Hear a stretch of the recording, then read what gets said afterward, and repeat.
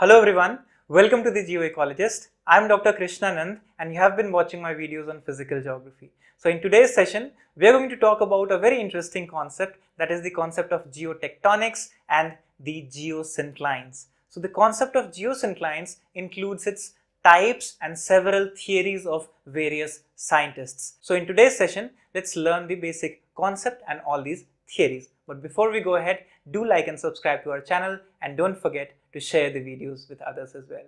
So now, today's question in this session is that what is geotectonics? We have learned about the concept of plate tectonics. Then what is this different than plate tectonics? Or is it related to it? So let's understand the concept of this geotectonics and geosynclines. So geotectonics deals with the Earth's crust as dynamic system. That is the first important statement to remember. And it is formed and deformed as a result of rather slow processes that we have talked under the previous lecture on diastrophism and earth movements. So what we see, this is the sequence that is being studied in the geotectonics. What is that? A phase which is pre-geosynclinal phase when the geosynclines are not there. So what happens then? Then how these geosynclines are formed and then what happens afterwards. So that is post-geosynclinal formation. So we are going to learn about these three important concepts and oceanic type of crust. Remember those are basaltic layer are pre-geosynclinal stage.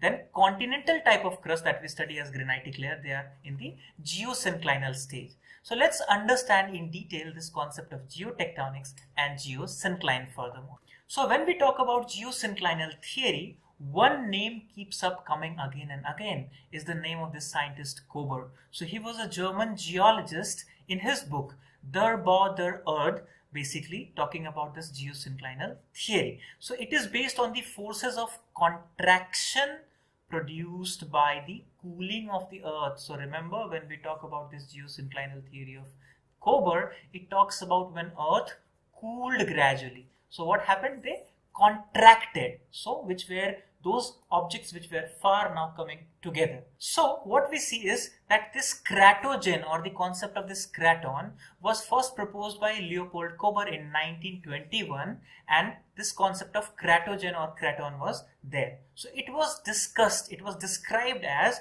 the stable continental platforms. Remember various surfaces of lithosphere which are stable continental platforms that keeps on moving on the deformed layer that is the asthenosphere so that we know now. But then it was talked about as cratons so these were the stable continental platforms. So this formation was called cratonization and how this happened? By the gradual cooling of the earth. So these cratons were formed.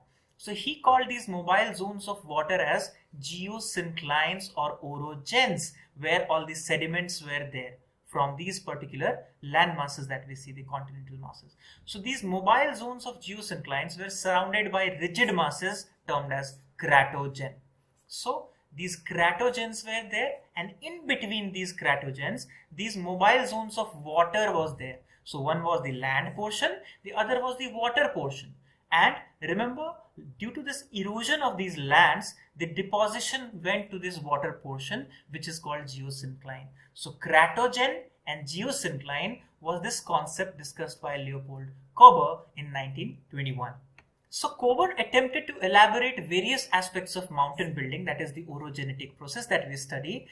So first was the formation of mountains. The second was their geological history and evolution of their development. So that was important in this concept of Kober. Furthermore, what we see is pair of another scientist that talked about this geosynclinal theory's fundamental concepts. It was introduced by James Hall's presidential address for the Geological Society of America in Montreal in 1857 only. So remember this was not new concept. The concept has been built earlier by these scientists that is James Hall and James Dana. So this Hall and Dana concept is supposed to be the origin point.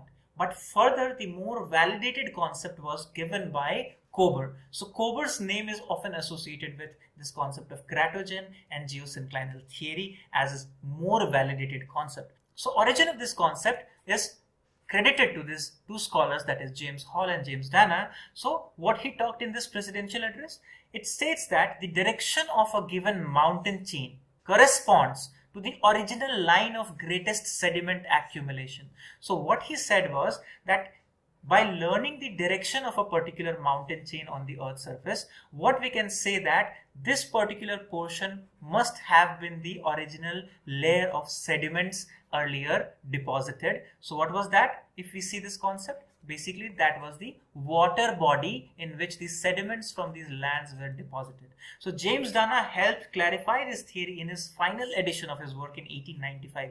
So remember almost 40 years of work went into this concept to clarify this idea in this manual of geology by James Dana. So that's why James Hall and James Dana's concept is the foundation stone of this geosynclinal theory on which in 1921 further details were given by Leopold Kober.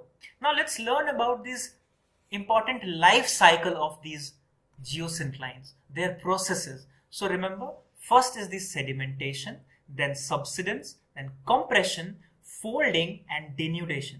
So these are the five steps which is important to understand the story of geosynclines. So geosynclines may pass through all these important cyclic events that keeps on happening. So what we studied here is if these are important cratogens and this is the geosyncline, so what happens?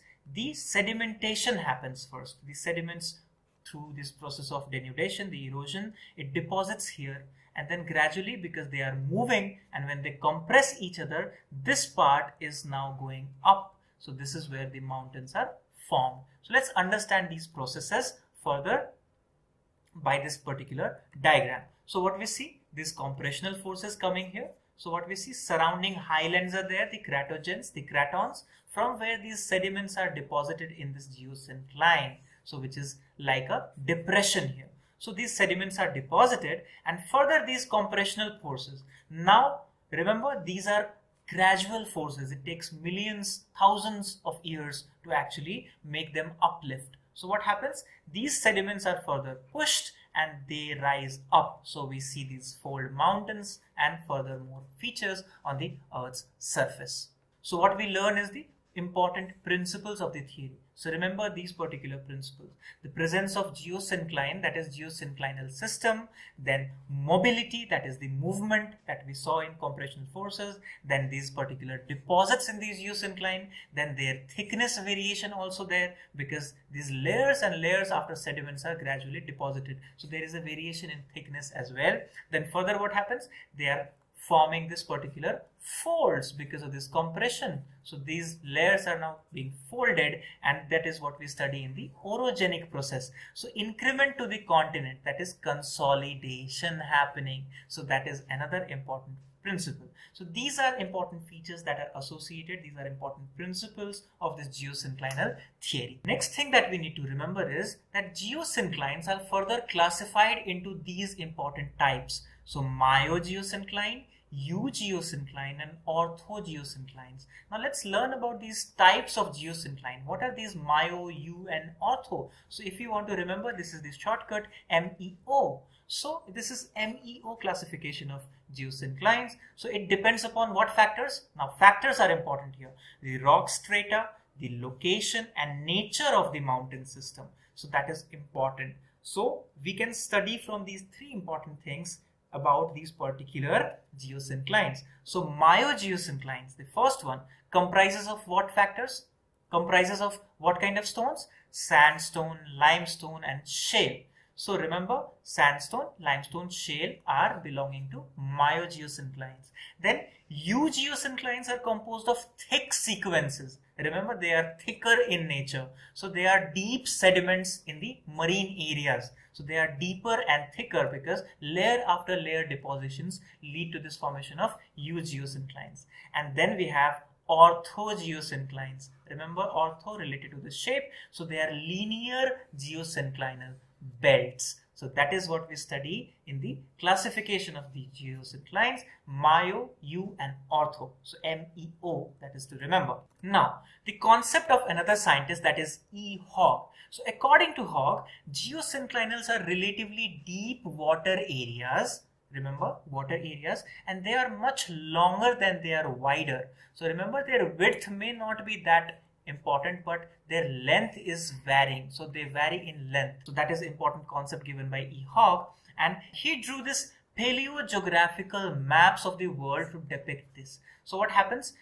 He drew the world map stating that how these particular elongated belts existed between the cratogens between these cratons of hard surface that is important. So these water tracks were subsequently folded into these mountain ranges. Why? Because remember again the principles of this concept that is the sedimentation, deposition, layering, thickness and then further folding.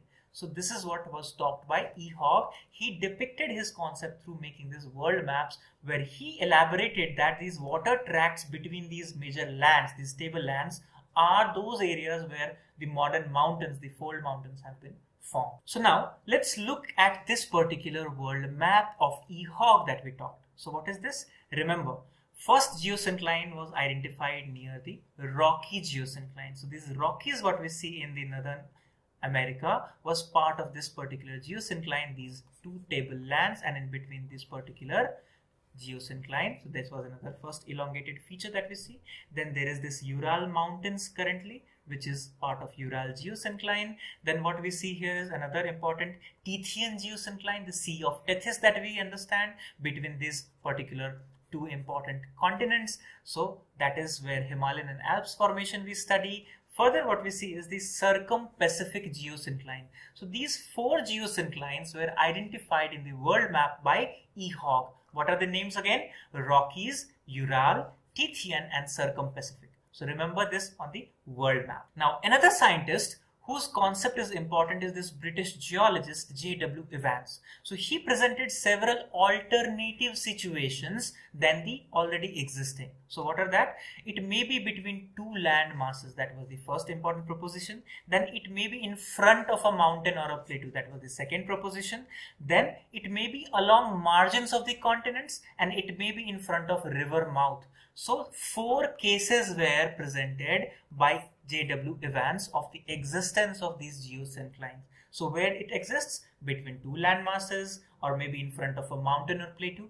Because remember for geosynclines, the sedimentation is the first important point of the life cycle.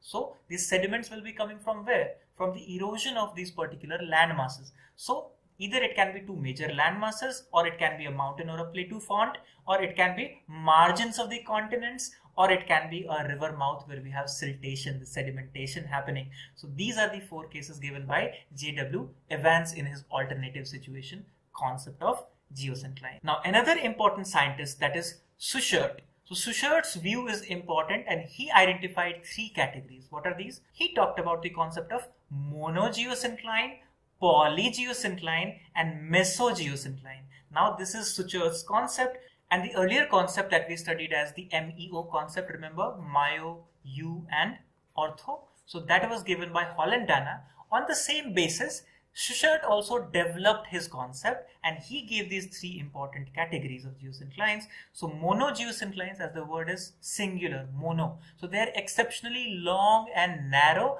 but shallow water tracts are there. For example, Appalachian mountain region of present. That was earlier a geosyncline that he said. Then polygeosyncline.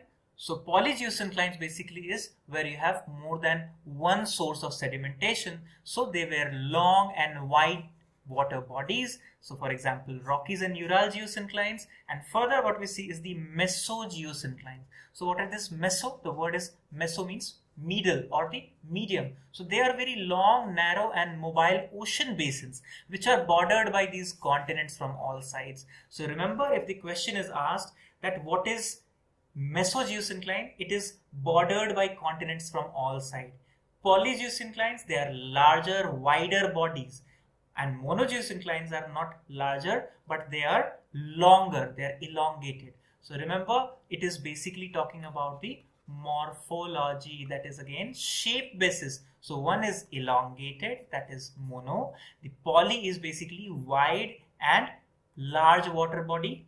Then meso is basically bordered by all continents and in between there is a geosyncline. So Tethyan geosyncline is supposed to be of that kind according to the Schuchert's concept So now, after we have learned about the basic concept of geotectonics, the concept of geosynclines, its various types and various theories of different scholars. So now, in the lectures to come, we are going to learn about the concepts of folds, its types, faults and its types and several other concepts. So stay tuned, stay safe and all the best wishes.